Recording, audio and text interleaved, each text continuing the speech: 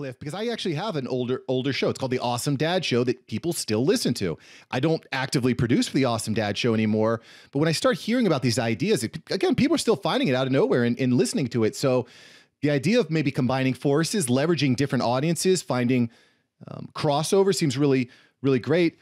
An, an, three two or three ideas for you there mark number one go put go drop one brand new episode at, into the feed one brand new episode might be the first episode you've done in three years doesn't matter just drop a brand new episode that is nothing more than saying hey if you've if you're listening to this as a result of checking out the archives i just want to let you know here's what i would recommend that you follow next yeah.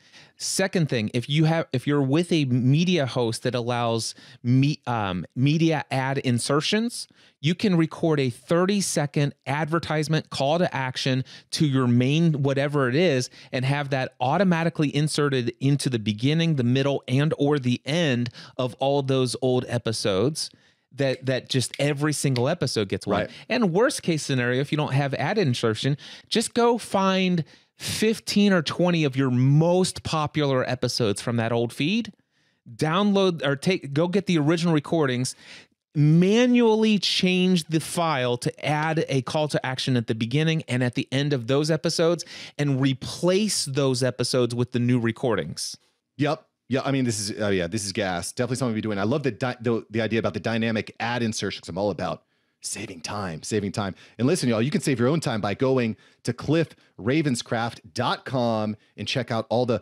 podcast and, and, and great stuff that Cliff is creating.